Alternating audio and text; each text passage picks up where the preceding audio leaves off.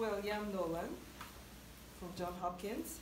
He's going to be speaking to us about radiolytic denaturation of bovine milk proteins with fast neutron bombardment. Wow, it's good stuff. Hey.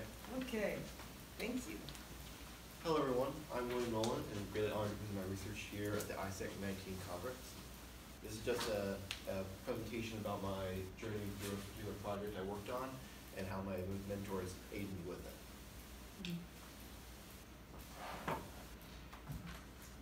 So to begin, I'm just I'm a 16 year old student currently enrolled in um, a private school in Annapolis, the Key School in Annapolis, Maryland.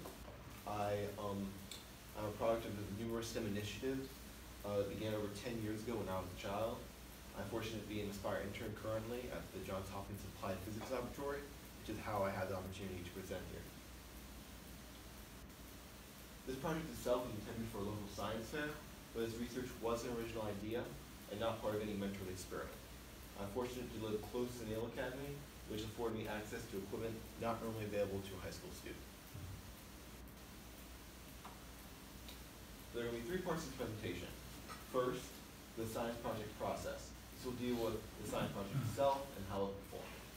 The second will be my motivation for the project. And the third will be, uh, the third and final section will deal with my mentors and how they assisted me with my project.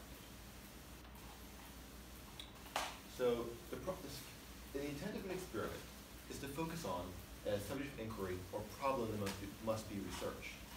My problem in particular drew from the proteins in bovine milk and the allergic reactions some people contract from them. But I wanted to determine if there was a method to denature or degrade the bovine milk proteins without affecting the milk's overall composition. So this is just my um, STEM process that I went through for this project. First step was gathering these parts. Milk was easy to find, but fast neutron radiation, that's a little bit more difficult and federally controlled. Um, fortunately, one of my mentors was a was a professor emeritus of nuclear nuclear engineering at the United States Naval Academy. So, therefore, before I started, I needed to write a detailed experimental proposal for, for review by a nuclear safety officer. After um, after writing this up, sending it in, and receiving approval, I had to I, I learned that the fast neutron generator, which was what I was going to be using, was out of commission, and was um, and for about three months. This was a wrench in the wrench in the gears, and I was unable to continue with the project until I found an alternative solution. And that was used, and I wrote a separate a separate proposal using plutonium beryllium neutron sources. So th- this low the low neutron flux of these sources extended the time from from like one to four hours to up to 64 hours. So I so I had to again devise another method to keep the milk samples cold. Um, keeping it keeping these samples in a refrigerator with these sources was not an option, unless on the off chance you want a radioactive fridge. So to combat this, I use a styrofoam cooler, which is used with both dry ice and regular ice. These strings you see hanging out are tied to individual milk samples, so that allow the lab technician to quickly and easily remove them to minimize ex- overall exposure time. So this fourth step was just running the experiment itself. My experiment called for removal of the milk samples at various intervals to determine the actual the exposure time to nature of the proteins.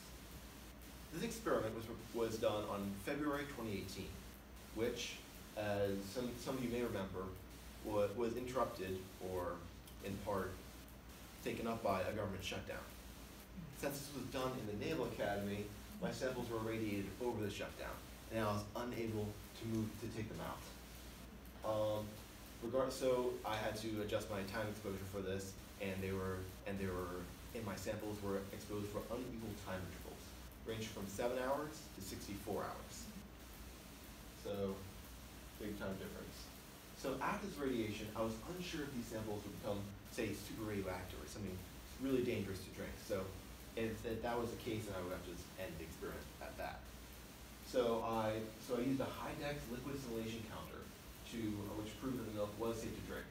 It did also identify short-lived isotopes in the milk, such as calcium, um, that, but none of, none of these made the milk hazardous or radioactive.